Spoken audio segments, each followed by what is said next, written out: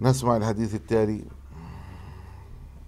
وعنه عن رسول الله صلى الله, صلى الله عليه وسلم أنه قال من خير معاش الناس رجل ممسك عنان فرسه في سبيل الله يطير على متنه كلما سمع هيعة أو فزعة طار عليه يبتغي القتل أو الموت مضانة أو رجل بغنيمة في رأس شافة من هذه الشعف أو بطن واد من هذه الأودية.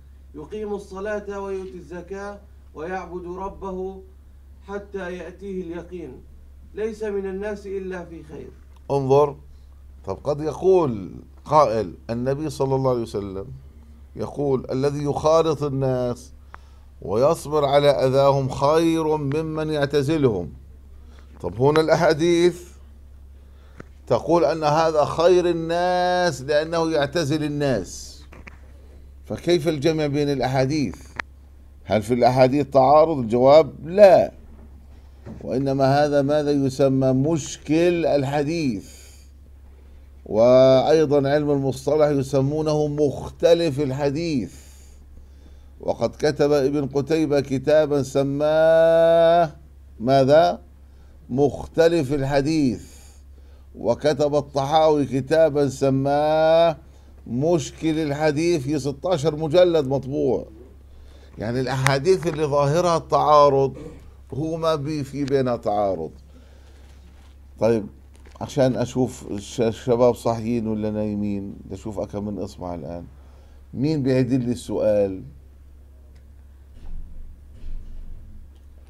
مين؟ مش مين بيجاوب؟ مين بيعيد السؤال؟ تنشوف كم من واحد.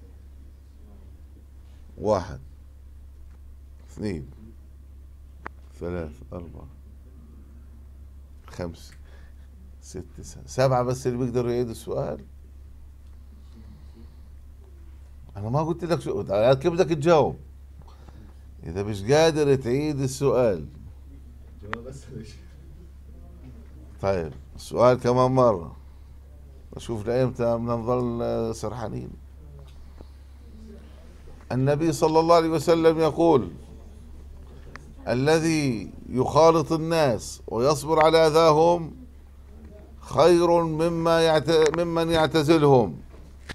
وفي الحديث الذي قرأناه الآن يبين أن هذا خير الناس الذي يعتزل الناس. فكيف الجمع بين الأحاديث؟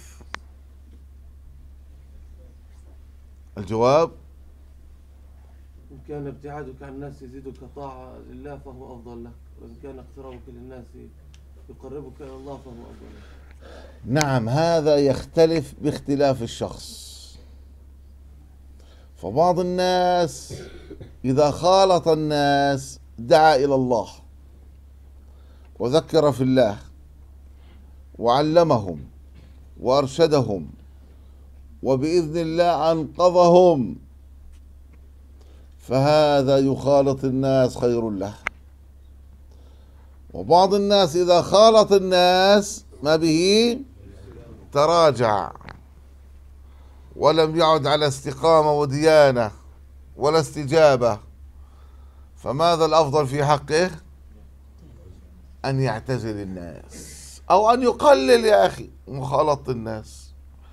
شيخ الإسلام ابن تيمية أراد أن ينتقم منه أعداؤه فجعلوه في السجن مع المجرمين.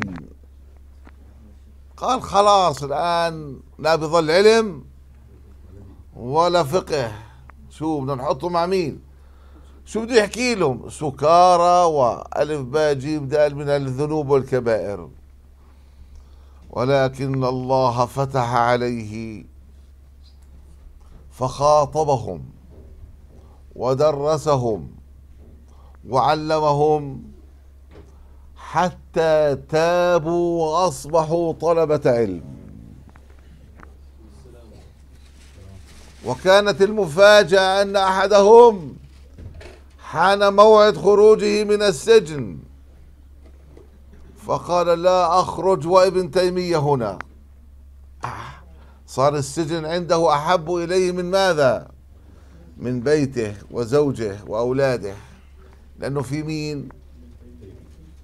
ابن تيمية الذي يعلم الناس. فبالتالي أخي في الله اسأل نفسك هل أنت من المصلحين؟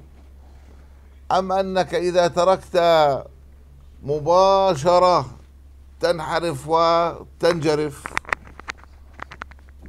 قارن نفسك بهذه الأحاديث.